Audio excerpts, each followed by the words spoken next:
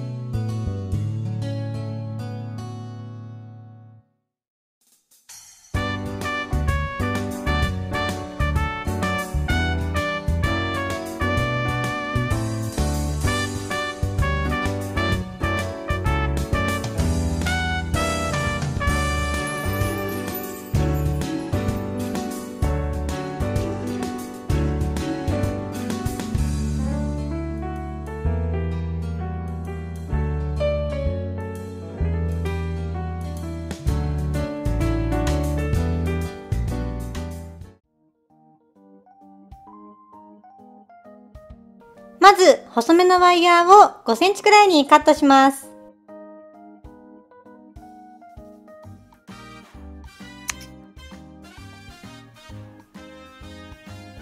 そして葉っぱの形を作っていきます。真ん中に爪を当ててぐっと曲げます。この折った部分をペンチで潰します。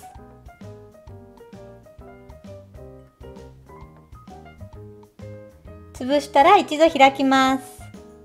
こんな感じで葉っぱの先っぽができたら、今度はペンのこういう曲線部分を使って葉っぱの曲線を作っていきます。ペンをワイヤーの間に挟んで、このワイヤーを曲げていきます。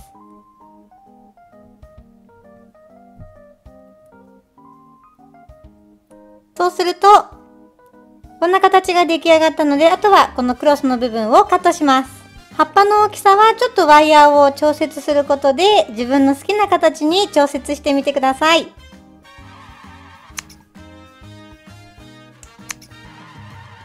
お花の数に合わせて葉っぱも自分の好きな枚数作っていきます。この葉っぱを切った時に残ったワイヤー2本はこの後使うので取っておきます。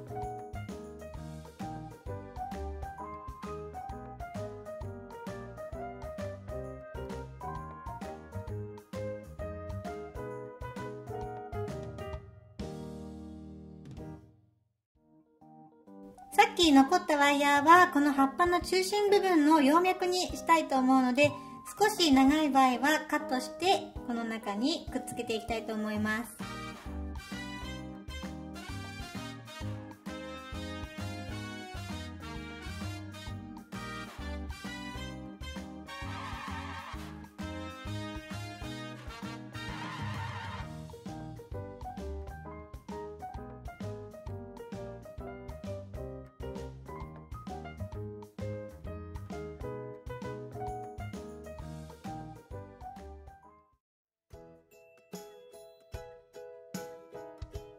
3色固まったので取り外していきます。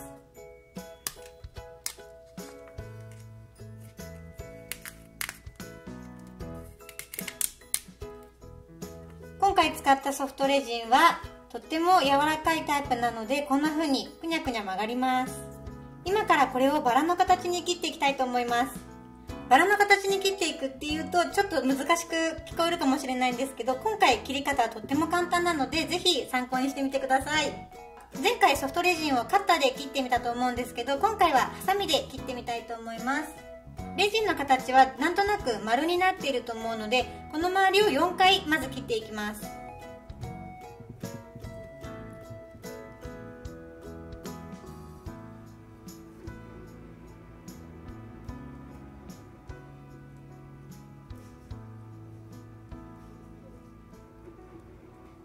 こんな形であんまりガタガタせずに綺麗に切れました。片面が切れたら今度は横にして横を切ります。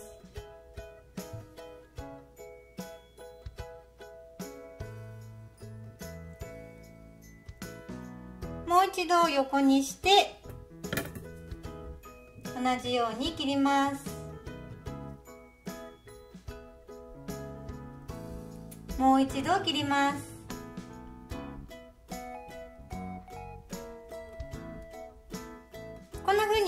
を4回ずつ切っていくことでなんとなくバラっぽい形になっていくのでこれを繰り返して切っていきたいと思います。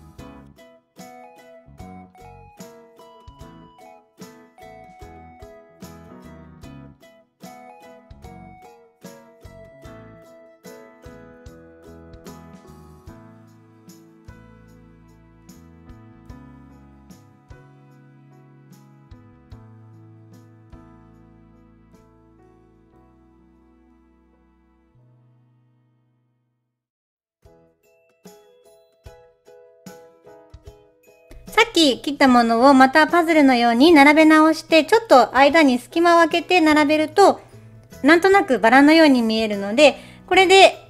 切る作業はおしまいです。両サイドも同じように切っていきたいと思います。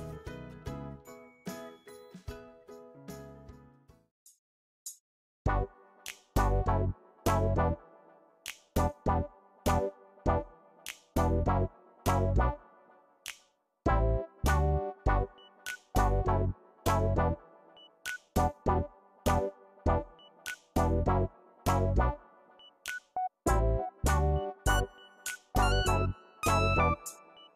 Bye.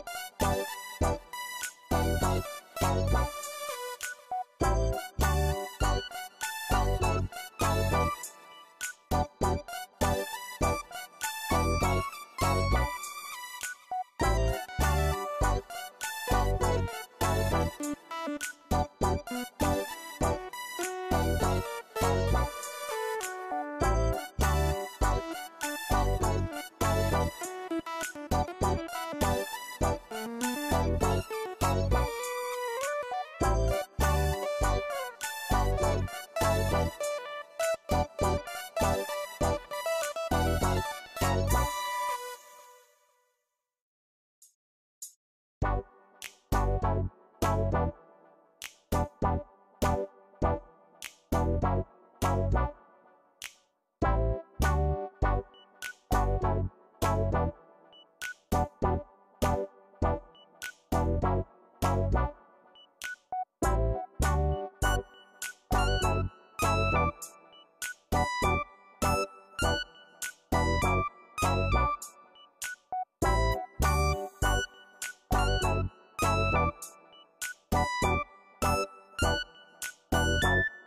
今